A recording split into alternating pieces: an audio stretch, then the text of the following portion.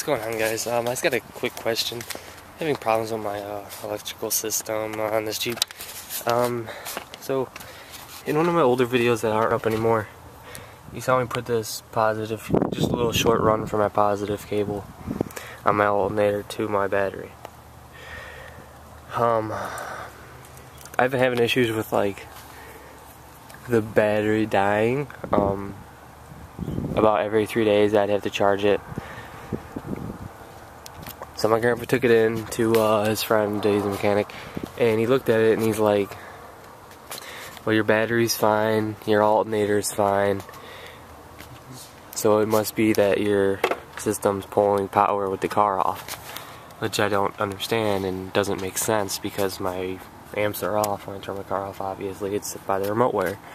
Um, so what I noticed is that, okay, when I redid this positive wire, I left the old wire here, and I, the old wire I had connected right here, because I just never messed with it, which went to this fuse box.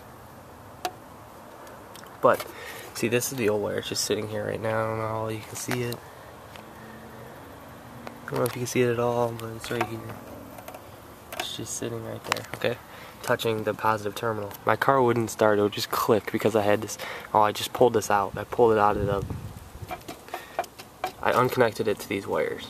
The old, old power wire to the alternator. And when I did that, it wouldn't let my car start. And I'm looking to see what goes down into that boot. And it goes, obviously this. Um, there's three different wires here. Right here. One of them is the ground to the alternator, okay? One of them runs up here and goes to this, which is to like the fuel rail. And another one just goes straight into that box right there, which you see. Now, I don't know if one of those are connected to this, and that's why the car wouldn't turn over right here, with that wire touching here. But it wouldn't turn over. I mean, I'll see if the car starts right now. Um, believe it or not, it might not actually start. Let me see. So if you guys can tell me what that is or what could cause that to not let it turn over without the old uh, power wire hooked up to it.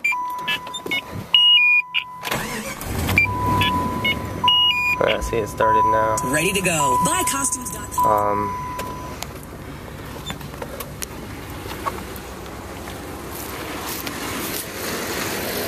yeah, if you guys can help me out, that'd be cool.